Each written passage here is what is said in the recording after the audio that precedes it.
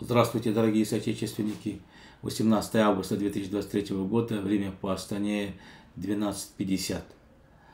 Э, ну, поступили новости дополнительно с шахты э, Казахстан Каргандинской области. Два человека погибли, трое находятся под э, еще в шахте неизвестная судьба. Ну, говорят, что, скорее всего, возможно, погибли, потому что там кислород недостаточный. Ну, во-первых, хочу выразить соболезнования родным, близким погибших шахтеров. Здесь я сейчас эту тему поднимаю опять. Вчера я эту тему освещал. Просто канал э, политические друзья, вот эти все политические процессы, которые происходят в стране, мы стараемся освещать вовремя, давать правильную оценку всем событиям. Э, я постоянно говорю, вот с января прошлого года, значит, первых числа января 22 года, что в стране установлен русский оккупационный режим. Э, в прошлом году э, наша страна подверглась военной агрессии, узурпации власти так называемым русским миром. Токаев гауляйте русского оккупационного режима. Токаев это своего рода Бабрак Кармаль, э, как в 1979 году э, Россия захватила власть в Афганистане, поставила свою марионетку Бабрак Кармаля. И вот э, мы сейчас из-за этого, этого терпим большие убытки. Наше государство разграбляется все, что осталось, вот, полезные ископаемые Э, рудные ископаемые, нефтяные участки, газоносные участки, урановые рудники. Это одно, но и второе идет э, перераспределение собственности, отъем собственности э, у старых э, собственников и передача их бизнесменам, так называемым, ну они никакие не бизнесмены, агентам э, русского мира, агентам ФСБ, агентам Кремля.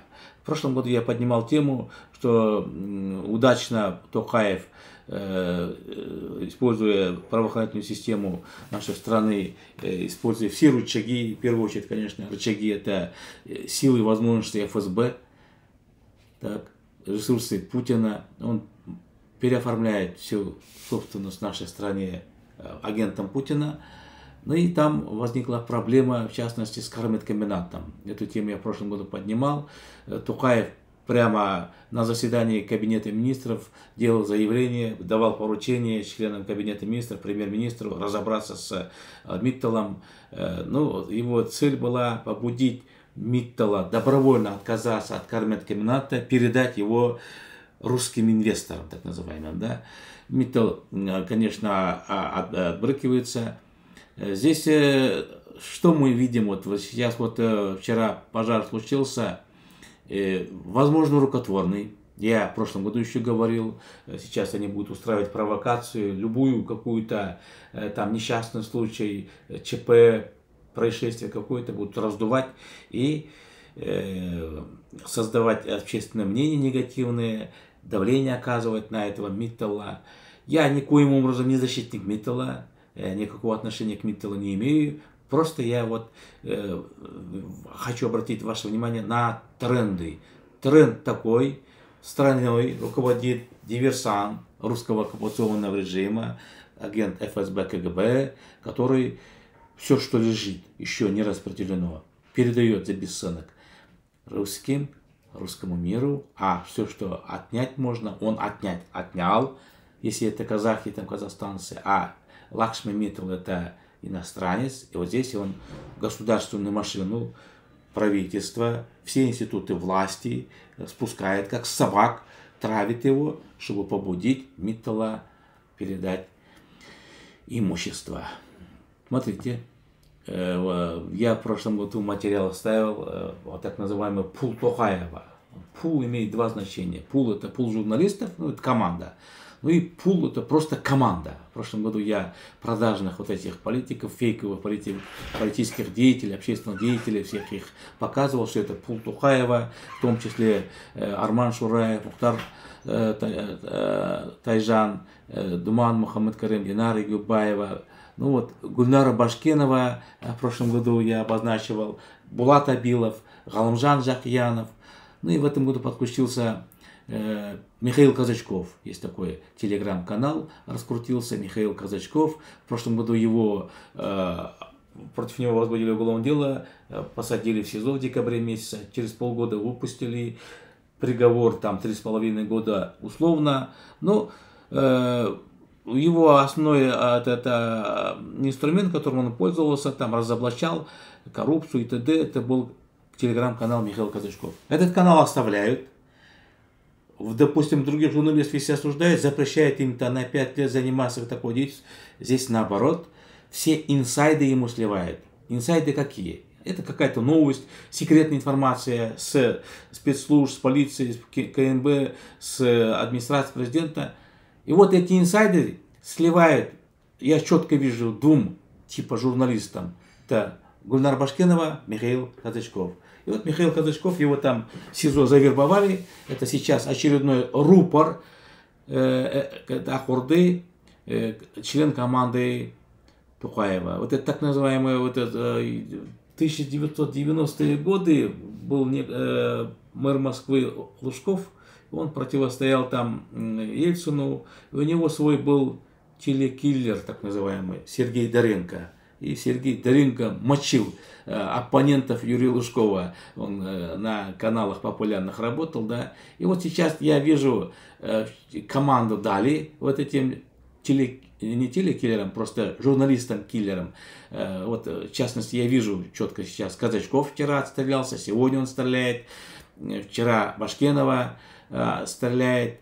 И вот я сейчас хочу просто показать лицо этих журналистов, агентов, не просто Токаева. Это получается Токаев, агент ФСБ, соответственно, все члены команды Токаева, э, выше озвученные мною, Халымжан Джахьянов, Булат Абилов, Мухтар Тайжан, Арман Шураев, э, Думан Мухаммед Карим и т.д все они, вот Ермурат Бапи, вот зашли в парламент, который э, прямо он, Ермурат Бапи называет Тухаева героем, батыром сегодняшнего дня, да. Вот это вот члены команды Тухаева, члены пула Тухаева, соответственно, это агенты ФСБ, потому что через Тухаева, через этого марионетку э, Кремль осуществляет свою политику. Ну, давайте сейчас пройдемся по страницам, чтобы не быть голословным. Так, это вот э, вчерашнее э, со страницы Михаила Катачкова. А, поиск пяти рабочих продолжается, работа осложняется сильным дымом. Так, сколько наших шахтеров еще убьет Лакшми Миттл, прежде чем его выгонят из Казахстана? Смотрите, журналисты обычно дают э, информацию любую новостную нейтральном э, фоне.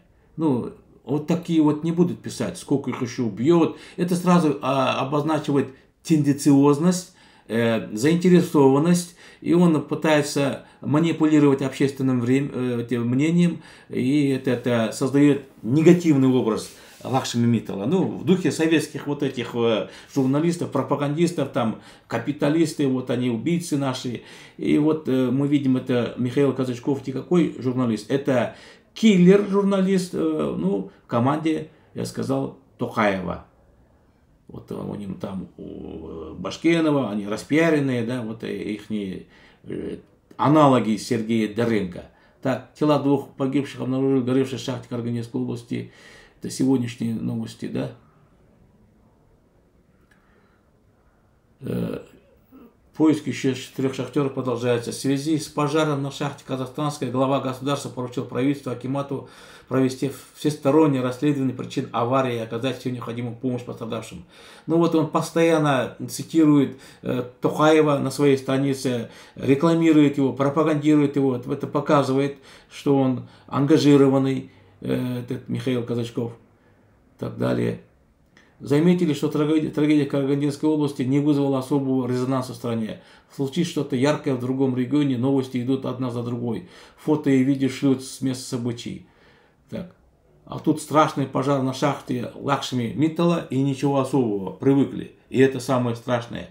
Люди гибнут на предприятиях Акселора каждый год пачками, буквально пачками. Смотрите, э, э, какую терминологию использует, да, вот этот циничный молодой человек, это люди гибнут пачками, да. И вот если посмотреть со стороны, это же огромное хозяйство, металлургический комбинат, угольные шахты, как уследить, так. Да просто все, хозяин должен быть заинтересован, чтобы на его участке был порядок на комбинатах, шахтах, на рудниках. В ноябре прошлого года на шахте имени Ленина погибли 5 человек.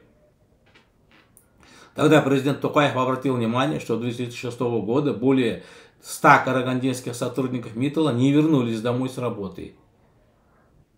Ну и вот в таком роде, смотрите, здесь э, Казачков что-то не упоминает, что в прошлом году Тухаев дает приказ стрелять на поражение э, без предупреждения, да?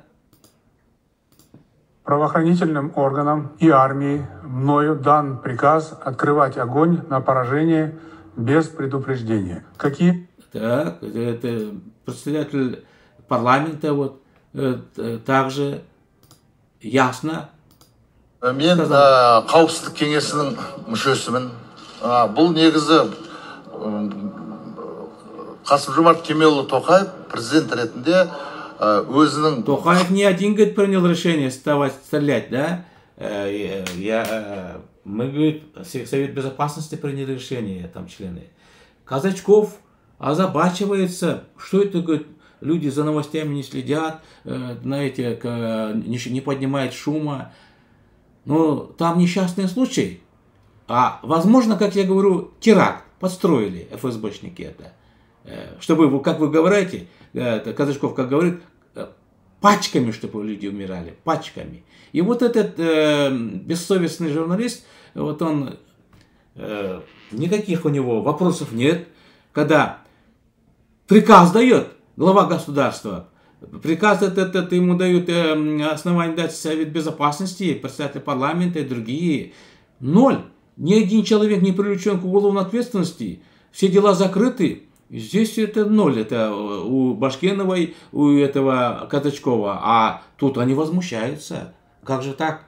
Прошлогодние истории вспоминает. Вот э, президент Тухаев обратил внимание, что с 2006 года более 100 карагандинских сотрудников МИТЛа не вернулись домой с работы. Из-за чего? Несчастный случай.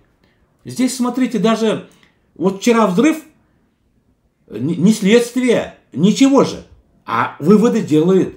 Выводы сразу делают. Смотрите. А в прошлом году расстреляли из пулеметов, снайперских винтовок детей четырехлетних. Что сказали? Надо ждать. Надо следствие делать.